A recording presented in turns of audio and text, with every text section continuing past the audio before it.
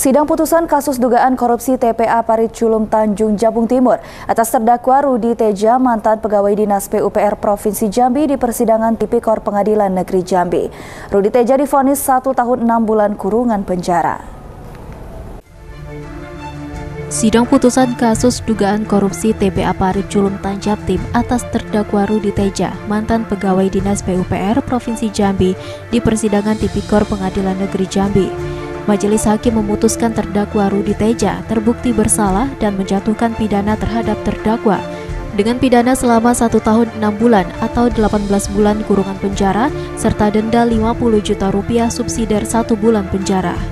Alhamdulillah hari ini telah dibacakan putusan perkara uh, Raden Rudi Teja. Beliau sudah PPK pada uh, Dinas uh, PU Provinsi. Terkait dengan pekerjaan tempat mengakhir Pariculum di uh, Tanjung Timur.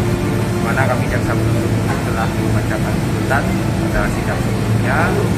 Uh, hari ini dibacakan putusan di mana putusan tersebut menjatuhkan pidana uh, terbukti secara suka dan meyakinkan bahwa Rizal berdasarkan pasal 3 Undang-Undang Pidana Korupsi kemudian dijatuhkan pidana selama satu tahun dan enam bulan kemudian subsidi 50 juta apabila tidak dibayar dapat dilanjutkan dengan uh, kurungan satu bulan.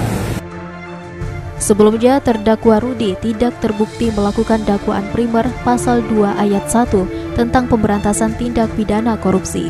Jaksa penuntut umum menuntut terdakwa Rudi dengan dakwaan subsidiar pasal 3, junto pasal 3 tentang pemberantasan tindak pidana korupsi dengan hukuman kurungan penjara 2 tahun dan denda 50 juta rupiah, subsidiar 3 bulan serta Rudi diwajibkan mengganti uang sebesar 388 juta rupiah. Iqbal, Jek TV, melaporkan.